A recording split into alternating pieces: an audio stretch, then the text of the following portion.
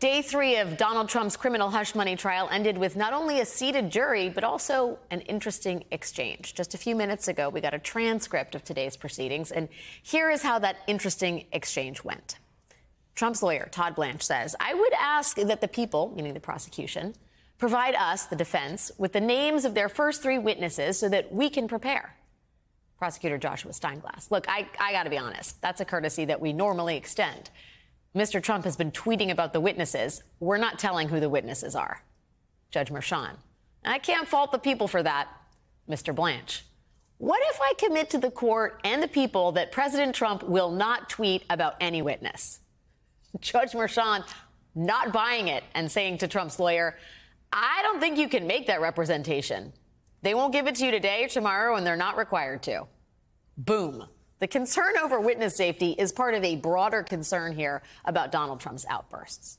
Earlier today in court, prosecutors asked Judge Merchan to hold Trump in contempt for seven problematic social media posts he has made since the trial began on Monday. And that is on top of the other problematic posts Trump made earlier that the prosecution says violate his current gag order. Joining me now is Andrea Bernstein, journalist covering Trump and legal matters for National Public Radio, NPR, and author of American Oligarchs, The Kushners, The Trumps, and the Marriage of Money and Power. And of course, back with me is Jeremy Saland. It's great to have you both here. Um, Andrea, I, am curious to hear uh, your assessment of this. It really feels like we talked about the intersection between candidate Trump and defendant Trump. And here, candidate Trump's outbursts and, you know, sort of weaponization of the jurors and the trial and the witnesses is really redounding not to his benefit here, right? Like the the prosecute the defense is not going to get the names of the first three witnesses because nobody trusts them to keep it yes. under their hat. Yes, that was a surprise, and I mean, I, look, we all know who the witnesses are going to be here. It's a huge surprise. It's just a question of order and strategy. But there was Judge Juan Merchan saying directly. I don't trust you to keep your mouth shut or your fingers off your keyboard. So therefore, you don't get this list. You've lost that privilege. And already, I mean, on the first day of the trial, when he said to Trump, writes that he reads to everybody. But it really mm-hmm. resounded when he said, if you disrupt the proceedings, you can be expelled and I can send you to jail. Right. Because in all of the other trials that I have covered, of Trump that he has attended, he has disrupted the proceedings. He's had interactions with the judge. He's muttered in front of the jury. I mean, he's spoken, I should say, audibly in front of the jury. I could hear him. They could hear him.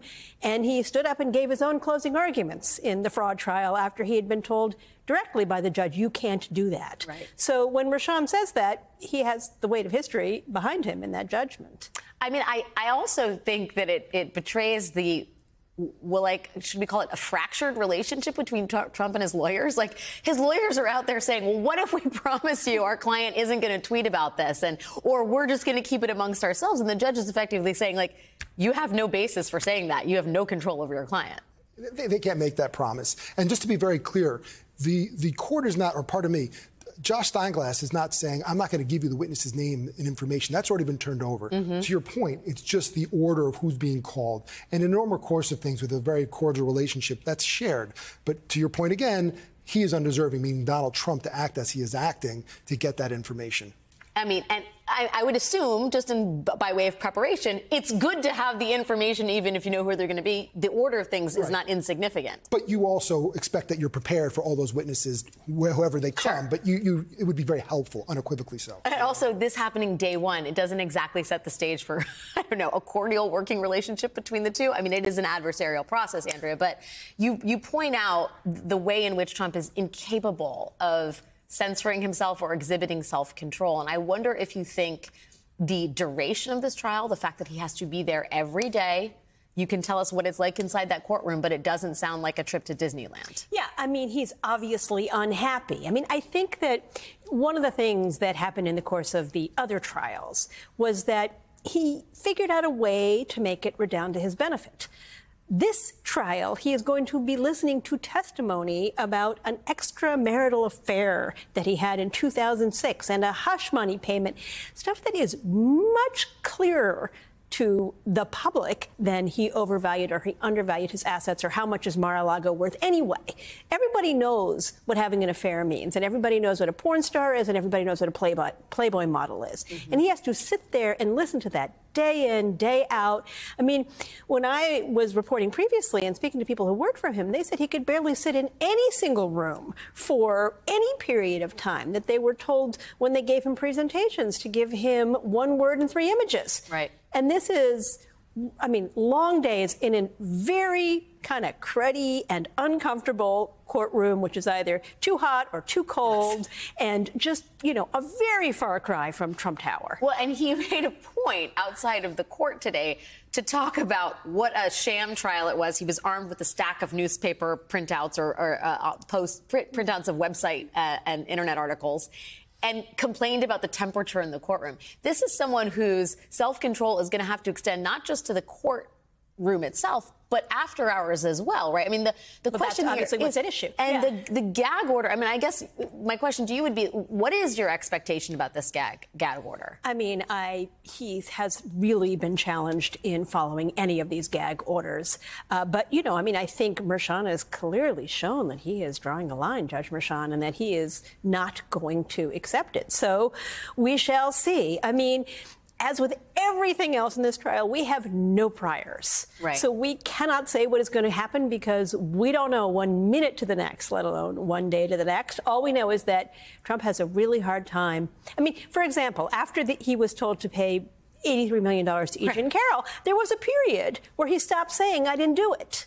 And then he started again. And $83 million is quite a disincentive. Yes. So can he keep his mouth shut now? We shall see. What will it take? We will find out. Do you think a couple hours at Rikers is even in the cards? I mean, I hesitate to even say that because it seems so far fetched. Well, first of all, number one, contempt can be civil or criminal. And if it happens in front of the judge, the judge can summarily say you've committed contempt. If it happens outside, like the tweeting or true socialing, if that's a, a verb, truthing, uh, truthing, uh, then it's a separate actual hearing. He has a right to, you know, challenge that. Uh, will the judge put him in for up to 30 days on Rikers Island? Uh, probably not. Could he sit, you know, cool his heels, uh, you know, uh, in the in the tombs behind? Maybe that's possible. Uh, a thousand dollar fine is really insignificant, but that, it's that exposure for most people who don't go to this point. But for most people to know that I can go to jail for 30 days and a judge can make that decision, and it's pretty serious. So, is it possible that he sits somewhere on the side there. In an even colder room? Yeah, yeah. or even even right there. There's benches he could sit. It's it's certainly possible, but he's not going to go to Rikers, and he knows that. He knows that. So. Stress testing the judicial system. That is where we are right now. Andrea Bernstein, Jeremy Saland, it's great to see you both. Thanks for your time and thoughts tonight. Great to talk to you. Hey everyone, MSNBC has a new and improved app. You'll get real time alerts and analysis, live blogs, in depth essays, video highlights, and the best 2024 election coverage. Download the new MSNBC app. Here's how to do it you tap on the App Store on your phone.